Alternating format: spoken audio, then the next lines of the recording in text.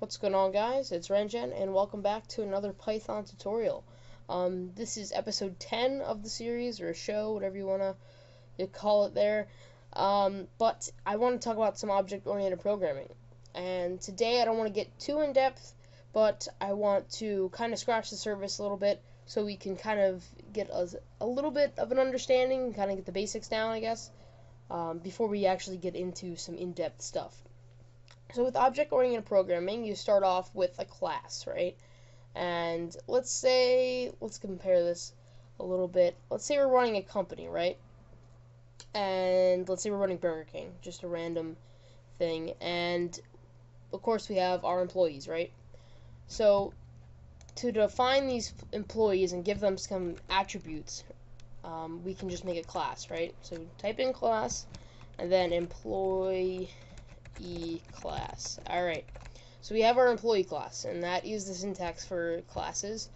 Um, just class, and then name of class, which is all lowercase, and then followed by, and then followed by, same thing, uh, followed by class with an uppercase C, then a colon.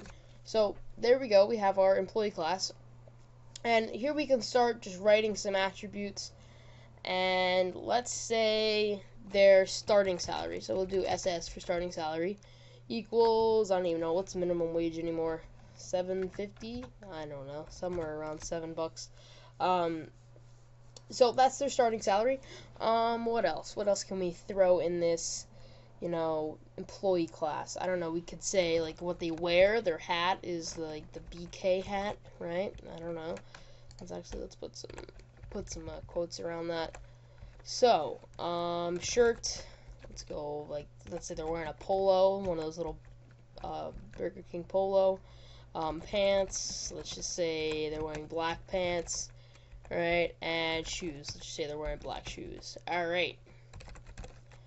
So now we have our employee class. And right here, um, we have our starting salary, which is 750 So their starting salary is $7.50. Um, they're, the hat they're wearing is Burger King hat. Actually, I'll just put no, yeah, I'll, I'll just I'll leave it at Burger King hat, BK hat. Um, shirt they're wearing a polo.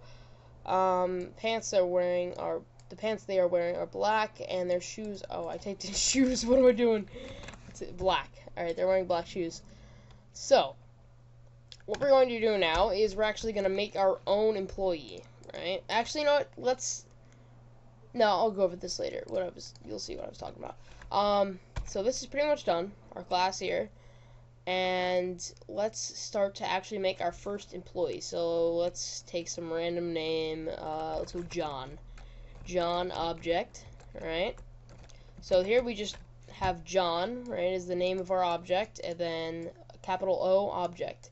And this is kind of similar, or well, it's completely similar to the class where you have name and then followed by I keep saying and then followed by. But um, you have the name of the class followed by capital whatever it is. So we have John object and we're going to set it equal to an employee class right? Because we need to set it to a class with some empty parameters so now what I just did here is I created John object, so I created John in the computer, and I have him inherit traits from the employee class. So right here, everything here is what every single employee will have, and then I can do specific things with John, right? And I can, you know, kind of, I can give him a different salary, like I can do his starting salary, or, well, his salary will equal starting salary plus whatever he makes and I can give him a certain position like manager, cashier, you know, drive through, whatever. And just to kind of let's see, let's show you how you can call upon something here in our in our little database of traits. We can go John object, just the name of our object, dot ss, which will be in dot starting salary, enter 7.5 or 750. Um, we can do it again. We go John dot object dot or no wait what am I doing? John object. Sorry, I'm going crazy with my dots. Um, John object shoes right? What shoes is he wearing? He's wearing black shoes. So just to, I kind of want you to get down here is the inheritance and how we have this employee class, but we also have John, and John inherits all of these things from the employee class, and, you know, I can add certain things to John himself, where I can go, you know, John has, you know, let's say dark hair or, you know, white skin or brown brown eyes, something like that.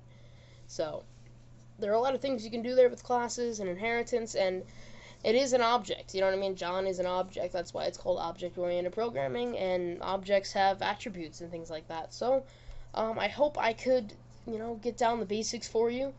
Um, I really hope this was kind of easy to understand. I didn't. I tried not to go too in depth, but that is pretty much it for today's episode, and I will see you guys later. Thanks for watching.